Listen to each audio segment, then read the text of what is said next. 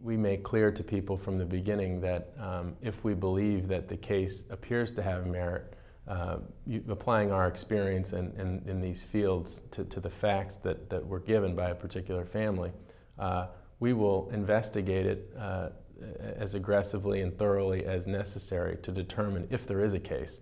And that, that investigation doesn't cost the, the family anything. Um, it's, a, it's a risk that the law firm bears in order to to look into the case and to pursue the litigation itself as it happens, as it occurs, does not cost the family anything either. Hi, I'm Matt Casey. I'm a catastrophic injury lawyer here at Ross Feller Casey in Philadelphia.